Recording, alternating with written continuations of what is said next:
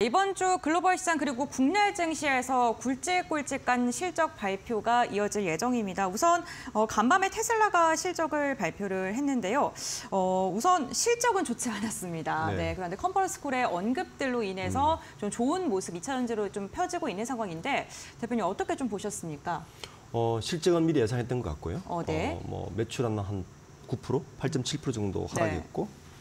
그러니까 예상치보다 더 하락한 거죠. 네, 그리고 그렇죠. 영업이익은 좀 더 월스타인데 한 48.6% 정도 마이너스 하락했는데 이런 것 같아요. 시장에서는 어, 그러니까 앨런 머스크는 좀 더 새로운 것을 하고 싶고 어, 네. 시장에서는 그러지 마.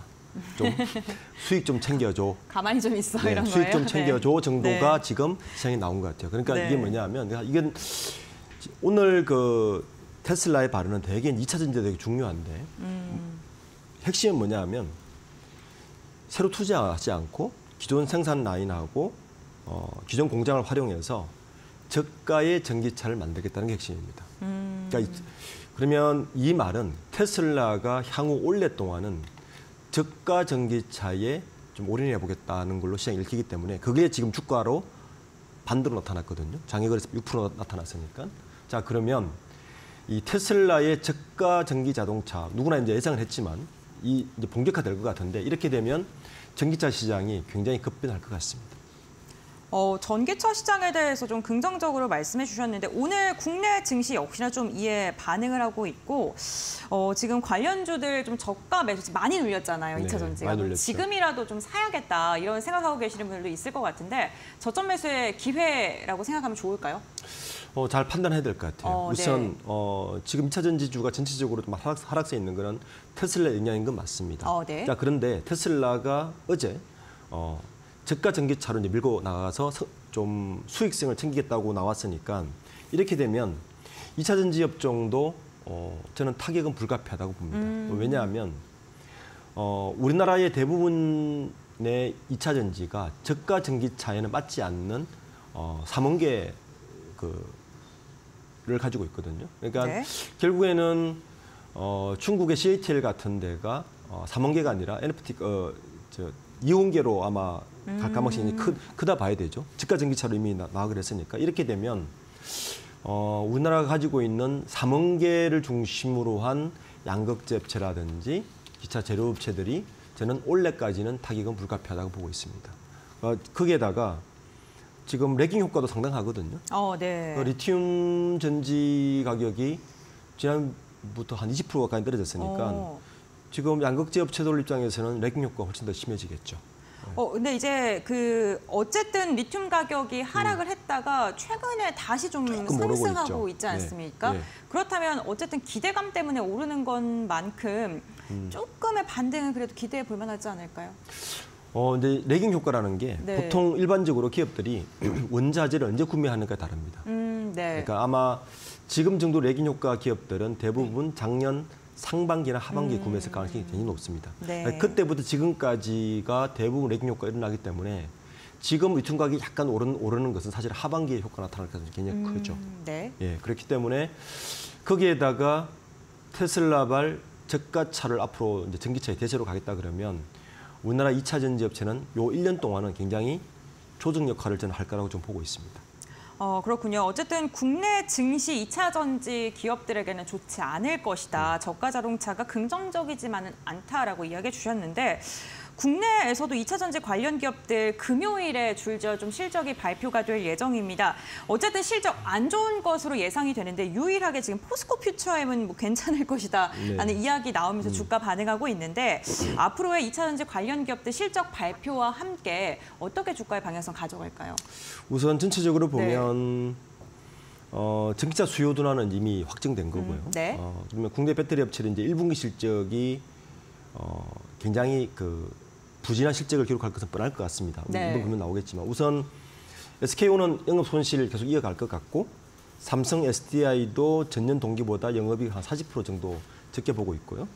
LG 에너지솔루션은 미국의 IRA법, 인플레이션 감축법 보조금을 제외하면 적자 300원대 적자로 지금 어. 보고 있는 것 같습니다. 그렇게 되면 어, 지금 이미 그 LG 에너솔루션은 지난 5일 날 잠정 실적 발표를 했죠. 잠정 실적 발표를 한 거 보면 매출액은 23% 마이너스 13% 그리고 영업이익은 마이너스 53.5%로 지금 발표를 했기 때문에 어, 예상보다 어, 좋지 않을 것 같고 아까 말씀하신 것 같이 어, 표스코 퓨치엠은 그나마 실적이 좀 나아진 걸로 보이는데 이거는 뭐- 왜 때문이냐면은 표스코, 표스코 퓨치엠이 양극재 부분에서 N60으로 한 제품 판매량이 20% 늘었어요. 요것 때문에 어, 어, 실적이 좀 나아진 건데 근데 포스코 퓨치엠도 이 레깅 효과는 피할 수 없을 것 같습니다. 왜냐하면 유통 가격 하락 영향으로 ASP가 지금 20% 급감을 했거든요. 그래서 어, 그나마 N, N65 판매 가격 그 증가량 때문에 약간은 실적 상승했지만 어쨌든 전체적으로 2차 전지 실적은 1분기는 썩 좋지 않을 거로 보고 있습니다. 어, 그러면 이 저가 공세를 예고한 테슬라에 발맞춰서 뭐 LFP라던가 좀 저가형 배터리에 대한 생산을 하고 있는 기업들은 그래도 좀 눈여겨볼 만하지 않나 싶은데 어떻게 보십니까? 지금 국내 배터리 3사가 네. 어, 이온계 저가 배터리에 대한 대응이 빠르면 상반기 빠르도 상반기라고 보는 거죠. 어, 내년이요? 어쨌든 네. 예, 아 올해 올해 상반기 예. 네. 그러면 어쨌든 1분기 실적까지는 작년 효과 그대로 나타날 것이고 네. 어, 테슬라의 저가 자동차에 대한 시장 상황이 네. 다른 완성차 업체도 같이 미친다면 음. 아, 빨라도 하반기가 되면 어느 정도 정상화 뭐 요 정도로 지금 예상하고 있, 있습니다. 어, 그렇군요. 좀 궁금한 게 있는데요. 어쨌든 LFP 배터리 같은 게 저가형 배터리고 음. 전고체 배터리에 대한 개발도 지금 지속적으로 나오고 있는 네. 상황이잖아요. 좀 대표적으로 삼성 SDI 들 수 있을 것 같은데 네. 이러한 쪽으로 보는 건 조금 무리가 있을까요? 전교, 전고체 배터리의 실제 그 적용이 네. 이 빨라도 2026년, 5년으로 보고 있는 거죠. 네. 사실은 그에 대한 시장 그 시장의 어떤 음. 반영은 어, 그렇게 된다면 빨라도 올 하반기라고 음. 봐야 될 것 같죠. 네. 뭐 어쨌든 올 상반기까지는 2차 전지 관련 기업들 조금 보수적으로 접근해야 될 것 같다 이렇게 말씀을 정리해 볼 수 있을 것 같습니다. 어, 그럼 전기차 관련 이슈 여기서 정리하고요. 이제는 또 메타라던가 알파벳, 인텔, 아마존의 실적이 내일부터 또 줄져 있을 예정입니다.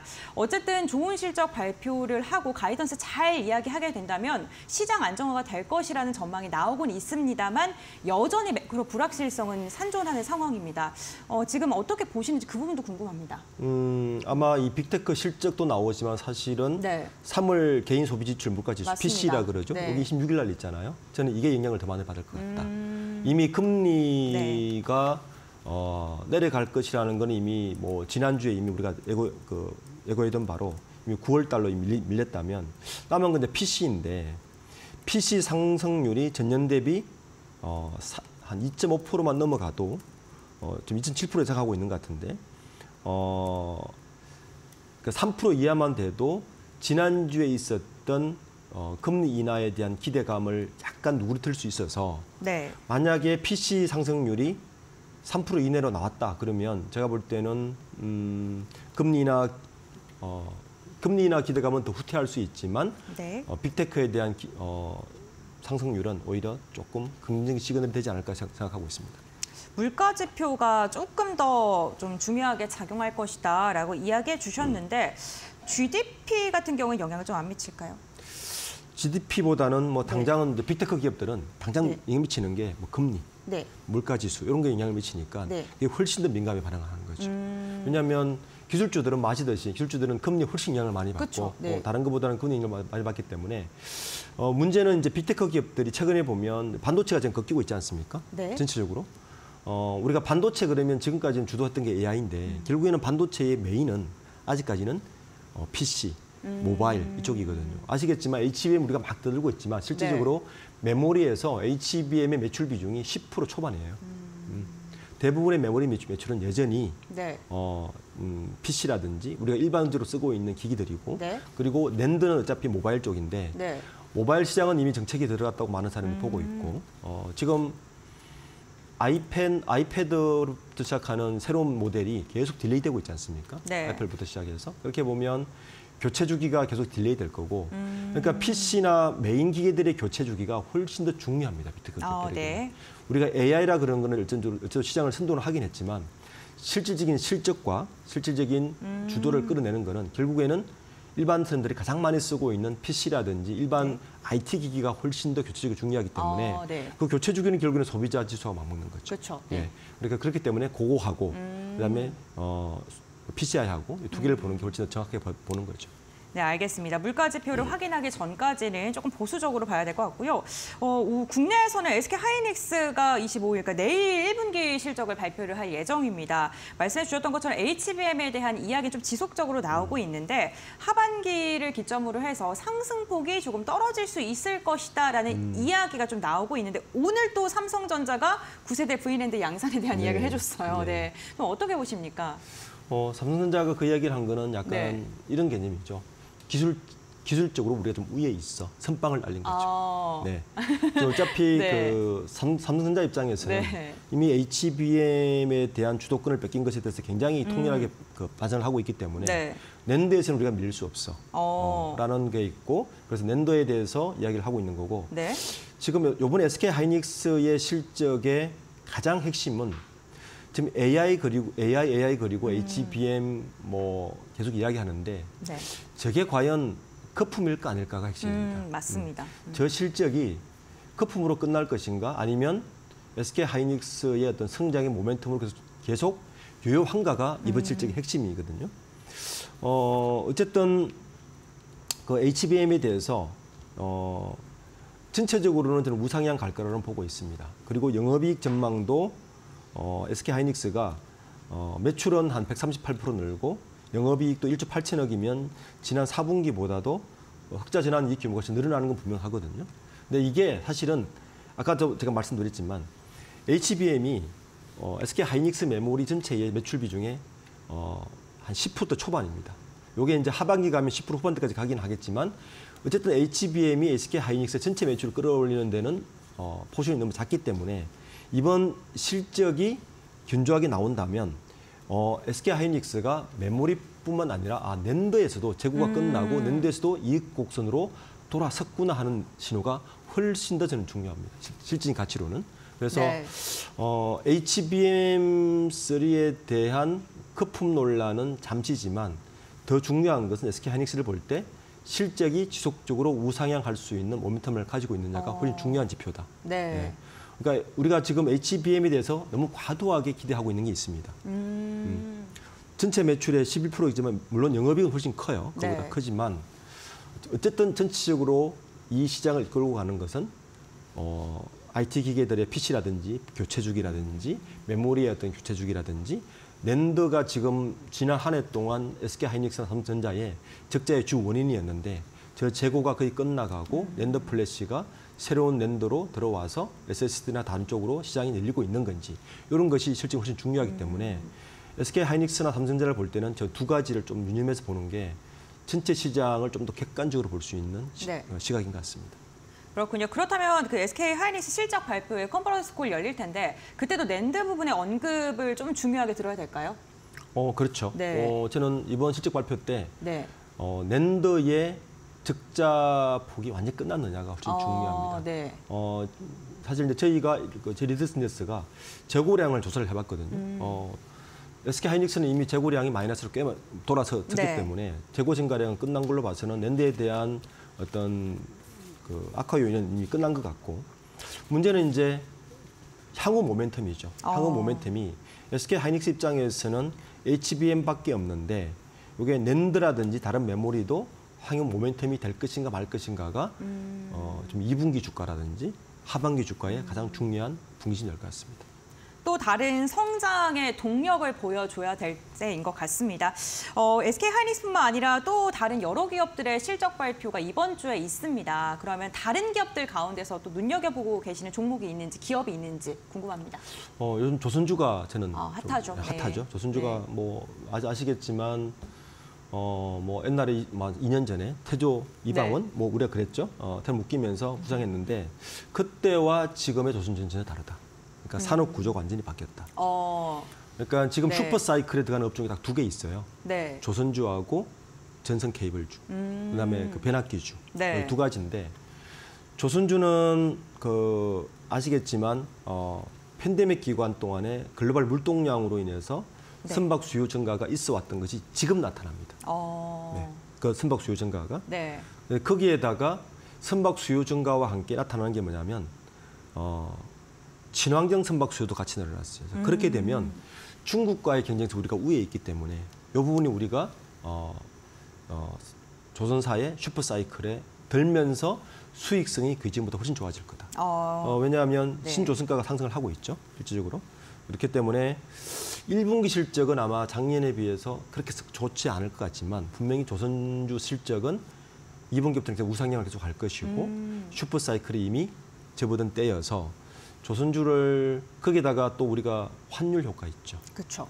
어, 환율 효과 플러스 11월에 대선이 미국에 대선이 있지만 대선 누가 되건 분명한 건 중국과의 무전이 계속 갈 것 같거든요. 어, 그렇게 되면 중국 선박에 대한 보호 조치가 우리에게 반사이익으로 다가올, 다가올 음. 어, 거라서 네. 요 세 개가 겹치는 거죠. 그러니까 슈퍼 사이클 겹치고 그리고 어, 조선가 자체가 됩니다. 그 이전에는 네. 우리가 저가 수주 때문에 그렇죠. 그러니까 하나 그룹이 대우조선을 인수할 때 저가 수주에 대해서 굉장히 우려했거든요. 그쵸. 근데 그게 자체가 많이 사라졌어요. 음. 지금 조선가 올라가면서 거기다가 환율까지 겹치면서 어, 조선주는 향후 뭐 1, 2년간은 굉장히 괜찮을 것 같다. 어. 두 번째는 이제 어, 고전압 해- 그 케이블하고 아, 네. 그리고 변압기 시장이죠. 어, 네. 변압기 시장도 슈퍼사이클 돌아왔습니다. 어, 변압기가 보통 보면 미국의 이제 예, PIP를 보면 한 30년 주기로 이게 아, 끝나는데 네. 이것도 돌아와서 아마 조선주하고 이쪽 주를 좀 유심히 보면 저는 계속 보고 있습니다. 네, 알겠습니다. 우선 2차, 2차 전지 관련 반도체 기업들 이야기 나눠봤고요. 눈여겨볼 만한 섹터 가운데선 조선 업종 그리고 전선 변압기 관련 이야기 한번 들어봤습니다. 실적 발표될 때 꼼꼼하게 확인해 보시면 좋을 것 같습니다. 리더스 인덱스 박수근 대표와 이야기 나눠봤습니다. 오늘 말씀 고맙습니다. 네, 감사합니다.